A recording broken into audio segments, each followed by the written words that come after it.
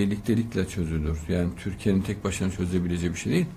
İngiliz derin devleti en az 100 devletle hareket ediyor. Türkiye tek devletle hareket edemez. Yani 100 devlete karşı tek devlet olmaz.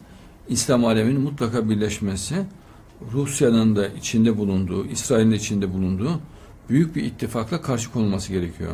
Yoksa Türkiye'nin baş edebileceği bir şey değil. Ayrıca Türkiye'yi büyük bir oyun içine çekmeye çalışıyor. Darwinizmin içine sokarak Türkiye'ye Darwinizmi savundurtuyorlar. Ve böylece PKK'nın taban ideolojisi, ana ideolojisi olan materyalizmi devlet eliyle savunmuş oluyoruz. Allah vermesin. Yani Türkiye savunuyor şu an. Yani Darwinist materyalist sistemi savunuyor.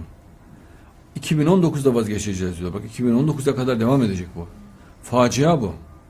Daha 2017'deyiz. 2018'de de devam edecek diyor.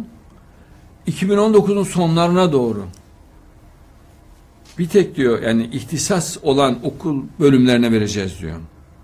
Yani anlayacak yerlere vereceğiz diyor. Bu faciadır. E, bakan da çıkıyor Darwinizm gibi bilimsel bir gerçeği reddedecek halimiz yok diyor.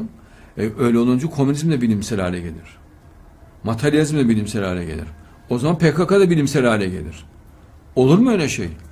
Büyük bir uydurma, büyük bir hurafe, putperest bir inanç, pagan inancıdır. Dünyanın tesadüfe meydana geldiğini iddia etmek bilimle alakası olan bir şey değil. Bilime bir ataktır, bilime bir saldırıdır Darwinizm. Bilime bir aşağılamadır.